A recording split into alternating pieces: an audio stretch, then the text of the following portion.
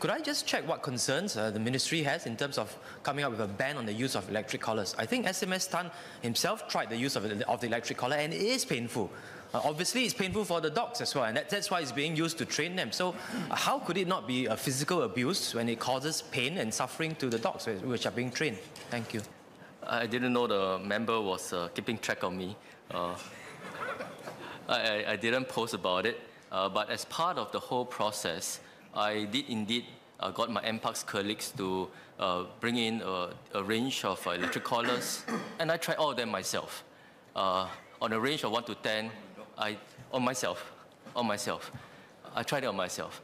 Um, on a range of 1 to 10 in terms of spectrum, I probably got to about 7, uh, and it has been very painful and the marks and show on the skin.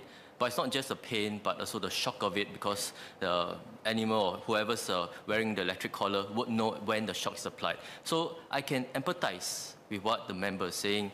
And I've also shared um, the position the government is taking uh, on looking at some of these issues uh, to my reply to his uh, question. So I must commend the member for his doggedness. Uh, on, um, on 4th of March, 4th uh, November 2020, as well as 4th, 4th of March of 2022, I've made some of these uh, elaboration or considerations.